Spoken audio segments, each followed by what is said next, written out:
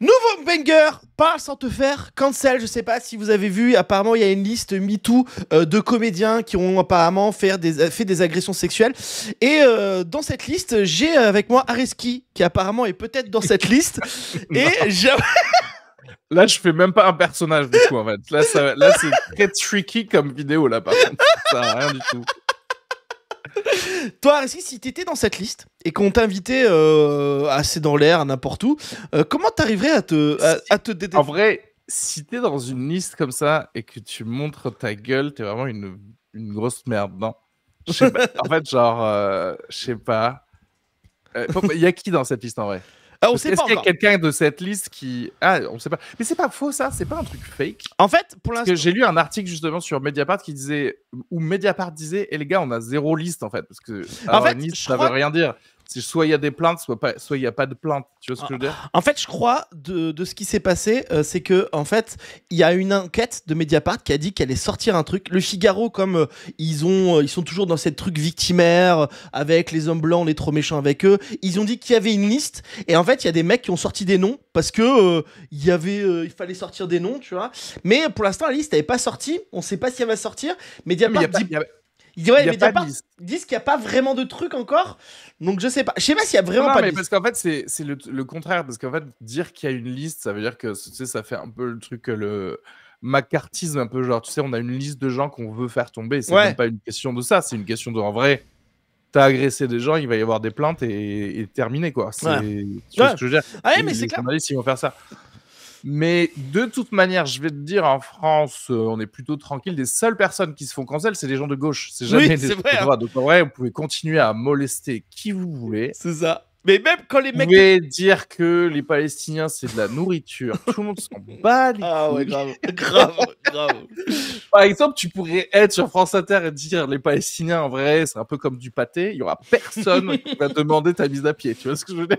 Mais c'est clair, c'est clair. Bah, Parce que c'est- Si tu parles de prépuce, là, ça, c'est pas, c'est pas ça, ça va être compliqué. Mais je suis quand même d'accord. Et les mecs de droite qui se font cancel, en fait, ils sont pas cancel parce que les gens de droite vont continuer Ils à continuent à voir. bosser, en fait. Ils vont, ils vont continuer à avoir de par Dieu, il a une belle vie. C'est ça aussi, la, la France, ils ont pas compris ce que ça veut dire. Cancel, cancel, c'est annulé. hein. Ouais, c'est ça. ça. le problème. De... Les gens, ils comprennent pas le, le l'anglais, en fait. Quand t'es annulé, c'est fini. T'as as fermé l'application.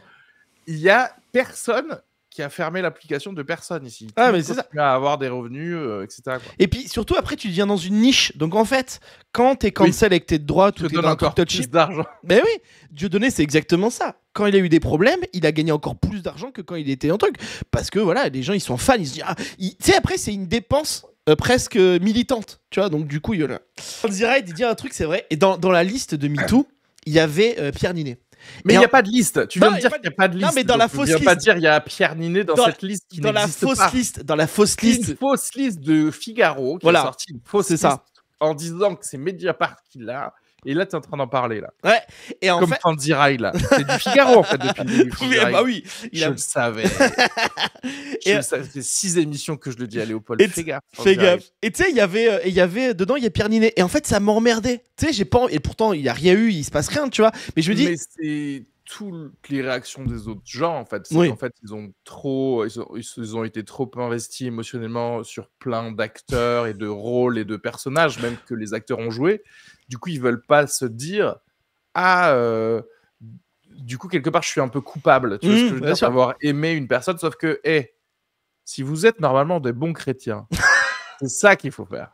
Hein? Oui, aller donner à manger aux SDF blancs dans la rue, mais aussi savoir pardonner et savoir aimer la personne. Parce que aimer la personne Putain. qui est gentille, ça ne, c'est pas, c'est, C'est tout facile. le monde le fait en fait. Bah.